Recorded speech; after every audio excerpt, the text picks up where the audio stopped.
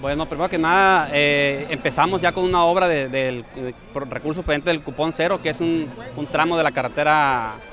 eh, de Casal. Este, es el tramo por, las comunidades que se llama Doctor Alfredo Díaz, son 20 millones de pesos, que ya la semana que entra, ya esta obra está licitada, ya adjudicada, y ya la semana que entra deben empezar los trabajos. Traemos también este, lo que es lo que es todo el camino de asfalto, lo que es la, la cartela de Ciénega, traemos un, un recurso ahí eh, ya conveniado, falta eh, cerrar cosas de meramente trámite para que bajen eh, esos recursos y terminar lo que es por completo la calle